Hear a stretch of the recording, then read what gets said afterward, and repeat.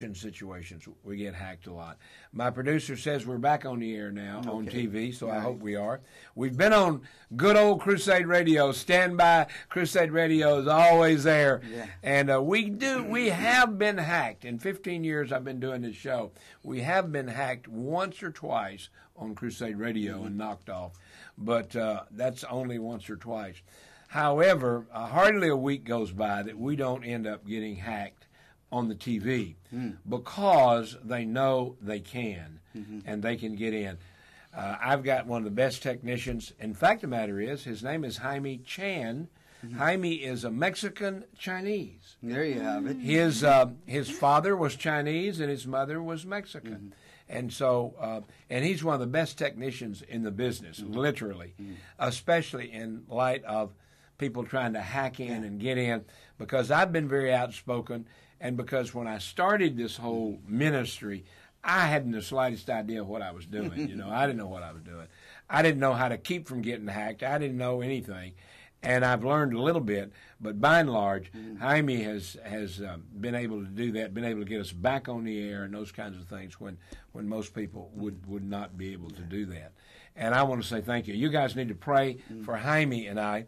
Uh, we do have a little project coming up. We'd covet your prayers for uh, and uh, that is in January, we're going to make a, what I'm calling an exploratory trip.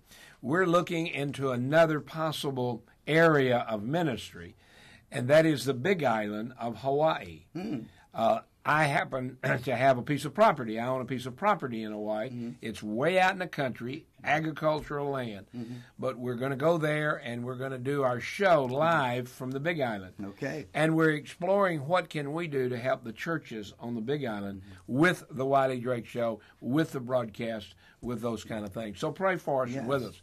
But in the meantime, folks, we have in the studio with us China Aid. We've had China Aid on this program many times with Bob Fu and others, but this is the first time we've had live bodies in the studio. and uh, we thank the Lord for you all being here today and praise God for you. Now, ladies and gentlemen, as I said before, we can't imagine what's going on in China uh, in reference to this, especially. But as we can imagine it, as we can see that video, and by the way, if you go to YouTube, you want to see Sarah's Trail of Blood. Trail of mm-hmm. Blood. Yes. You go to YouTube and you can watch it. Mm-hmm. Or if you'd like, you can get in touch with China Aid in LA. That's right. Tell them how to do that. And that would be just uh, email us at chinaaid.la at gmail.com and you get a hold of us, and that would be a wonderful way to do that. Also, uh, Wiley, I wanted to mention something about in the video. It talks about her um, they came to her trying to make her sign a document, a mm. confession. Now, this isn't a, a, confession of guilt of any kind. What it, what it is is a confession in order to um, implicate her pastors and other church members so that they could bring them in also. Mm. So, uh, this is where the battle was really at for her. And as she was uh, undergoing